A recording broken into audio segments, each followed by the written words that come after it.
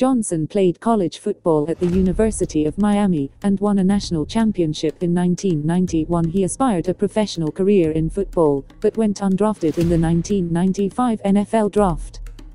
He signed with the Calgary Stampeders of the Canadian Football League CFL, but was cut from the team in his first season 14 part of the Anoa'i family. Johnson's father Rocky and maternal grandfather Peter Maivia were professional wrestlers, and he secured a contract with the World Wrestling Federation WWF, now WE in 1996 too he rose to prominence after developing the gimmick of a charismatic boastful, trash talker and helped usher in the Attitude Era, an industry boom period in the late 1990s and early 2000s. 15 Johnson left WE in 2004 and returned in 2011 as a part-time performer until 2013, making sporadic appearances until retiring in 2019-16 a 10-time world champion, including the promotion's first of African American descent 17. He is also a two-time intercontinental champion, a five-time tag team champion, the 2000 Royal Rumble winner, and WE 6th Triple Crown champion.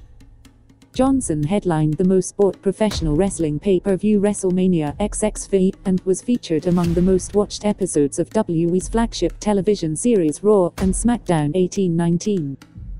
Johnson's first leading role was as the titular character in the sword and sorcery film The Scorpion King 2002, and has since starred in the comedies The Game Plan 2007, Tooth Fairy 2010, and Central Intelligence 2016, the action-adventure films Journey 2, The Mysterious Island 2012, G.I. Joe, Retaliation 2013, Hercules 2014, and Skyscraper 2018, the science fiction films San Andreas 2015, and Rampage 2015. 2018.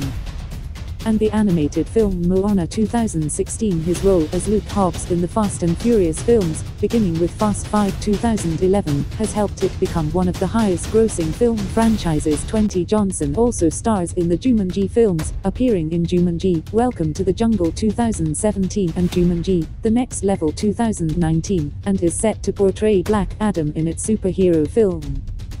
Adaptation Johnson produced and starred in the HBO comedy drama series Ballers 2015 to 2019-21 and stars and produces the autobiographical sitcom Young Rock 2021 in 2000. Johnson released the autobiography The Rock Says, which was a New York Times bestseller 22-23 in 2012. He co-founded the entertainment production company 7 Bucks Productions 24 and is the co-owner of American Football League, the XFL 25-26 in 2016 and 2019, Johnson was named by Time as one of the world's most influential people 2728.